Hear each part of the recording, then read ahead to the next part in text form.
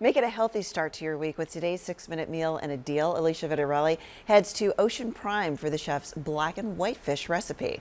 Sometimes I think people get intimidated cooking seafood at home.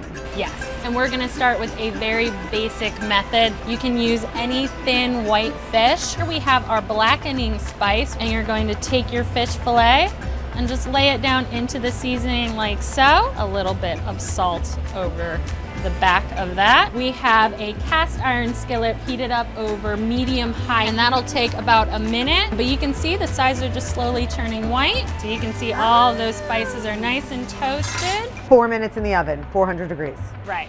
Our fish is cooked through. Give it a little tap. How did you know it was done? It's given um, not too much resistance and we're ready to eat. A little squeeze. So this is on your menu at Ocean Prime and now it can be on your menu at home. Thank you, Cheers. Chef. You can find that recipe on 6abc.com and if you dine at Ocean Prime any Monday from now through May 14th and you mentioned you saw this recipe on 6ABC, they'll give you a complimentary tuna tartare with your dinner. Alicia Vitarelli, Channel 6 Action News.